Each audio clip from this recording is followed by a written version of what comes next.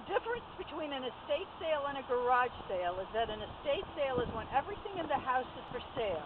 I mean everything, the heirlooms as well as pots and pans and Tupperware. We sort through everything at the home, determine values, display the items, and hold the sale.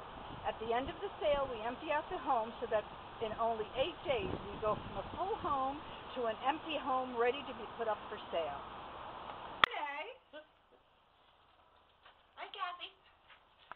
I'm Jessica. And this is an estate sale. Come on in. There was a lot of stuff that ain't had any prices on. Okay. Well, I don't, know how much you're, want. All right.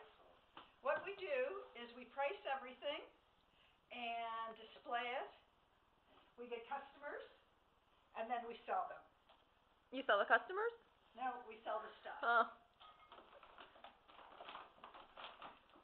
I told you he was five.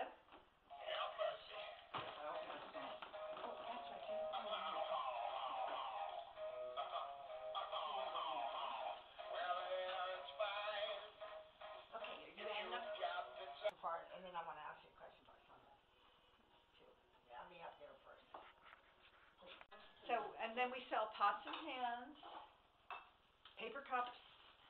These are old all right, I think I'm done. Santa, Santa mugs. Everything goes.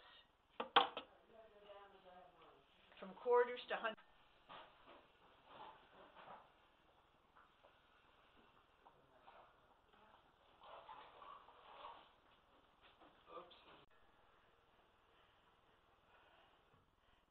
and then the house is empty.